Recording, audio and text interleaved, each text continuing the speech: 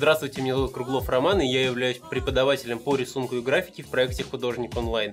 Мы рады представить вам наш обновленный курс по графике. Мы оставили из первой версии курса наиболее удачные работы и записали 6 абсолютно новых. В рамках этого курса мы поработаем над различными задачами и в разных жанрах. Также мы поговорим о разнообразии мягких материалов, об их возможностях и свойствах. Курс мы начнем с несложного задания, где мы изобразим фрукты, то есть поработаем над большой крупной формой и поговорим о передаче объема предмета. Рисовать мы будем углем и угольным и ретушным карандашами. Далее мы продолжим знакомство с мягкими материалами и сделаем работу на тонированной бумаге, черным соусом и кистью.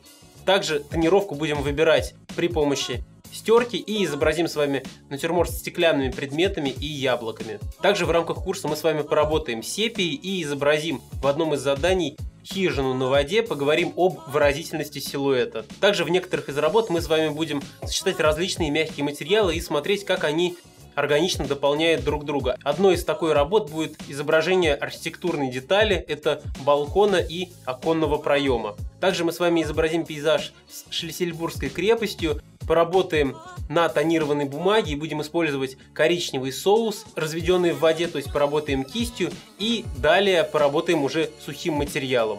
На цветной бумаге при помощи угля и мела мы с вами изобразим зимний пейзаж. Посмотрим, как органично соседствуют два диаметрально противоположных материала – мел и уголь. Далее мы продолжим комбинировать различные мягкие материалы и нарисуем с вами птицу, чайку, где большее внимание уделим именно передаче фактуры ее оперения и также легко наметим дальний план. Работать будем на цветной пастельной бумаге. В этом курсе нас будет ждать несколько натюрмортов. Один из них мы выполним с вами при помощи сепии.